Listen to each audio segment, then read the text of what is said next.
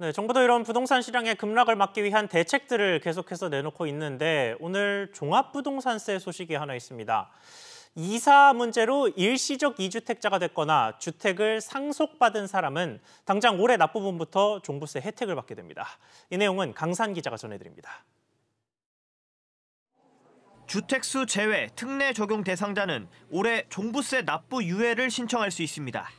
올해 개정된 세법에 따라 고령, 장기 보유 여건을 채운 1세대 1주택자는 주택을 처분해 자금 여력이 생길 때까지 종부세 납부를 미룰 수 있습니다. 이사나 상속 등 불가피하게 주택을 두 채 이상 보유하게 돼도 세법상 1세대 1주택으로 간주됩니다. 실수요자에 대해서 유동성이 부족한 부분을 감안해서 실제 소득이 실현될 때까지 세금의 납부 시점을 좀 연장해 줌으로써 납세 편의를 제고해 주고자 하는 취지로 도입이 됐습니다.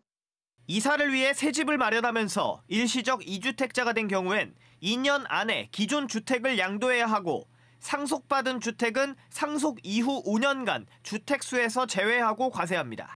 지방 저가주택도 한 채를 추가 보유했을 경우 1세대 1주택 혜택이 유지됩니다.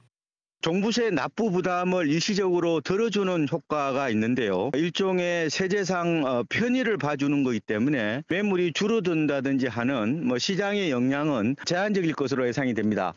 일시적 2주택자에 주어지는 양도세 비과세 혜택은 임대주택 사업자에 대한 혜택과 중복 적용이 가능합니다.